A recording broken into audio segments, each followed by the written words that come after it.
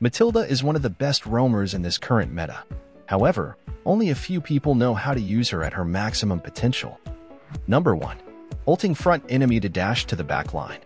Ulting on the front enemy and pretending you're going for them, while your intention is to dash to the back line with your ally, catches the enemy off guard and is a good way to focus the back line. Because even if the enemy core is aware they could be targeted when you're ulting, you can also flicker at the same time when you dash to get even closer to the target. Number 2. Mathilda Playstyle To use Mathilda at her best, knowing her playstyle is important. As Roam Mathilda, your main jobs are 1. Focusing the backline, where you take an ally with you who can kill the enemy marksman or enemy mage. 2. Saving allies using second skill with shield and healing. 3 continuously poking the enemies where you're playing aggressively. Number 3. Skill Combos The first combo is first third second.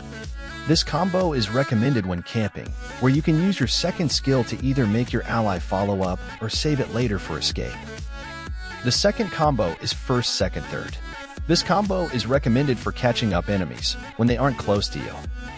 And when dashing with ultimate, make sure that you aim so you don't auto-aim because then there's a chance you'll end up dashing to the wrong enemy. Number 4. Adding Flicker to the combos. You can add second plus Flicker to these combos, because sometimes the second skill alone isn't enough to save your teammate or reach an enemy. This allows you to catch the back line without having to use ultimate on a front enemy. Number 5. Stacking first skill. When camping and poking as Mathilda in the early game, and you're using first skill, make sure to move around the bush to increase the stacks from first. People tend to stay still when they camp in a bush, but as Mathilda, try to avoid doing that when using first skill as walking around increases the stacks and adds more damage. Number 6. Baiting as Mathilda using her second skill.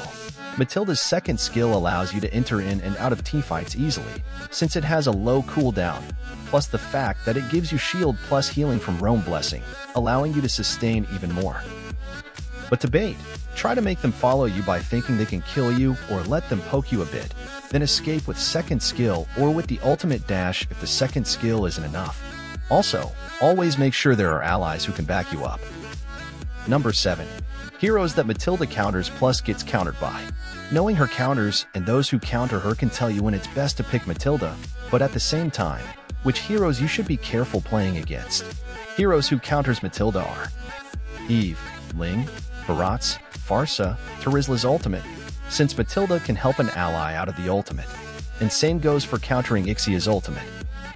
However, heroes who counters her are Ruby, Kaja, Juan, Minsitthar, Khufra, and Franco.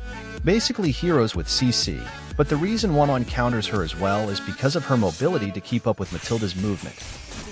Number 8. Recommended build, Emblem, and Battle Spell. These are the builds that I recommend.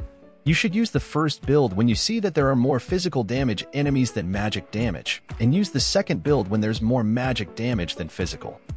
After you build boots, you should buy steel leg plates first before you go for Flask of the Oasis. This allows you to be a little more sustained while going for a non-defense item. Despite it not giving any defense, it can save you when you're low health, as it gives you healing and shield plus reduces your cooldown and allows you to basically dash once again.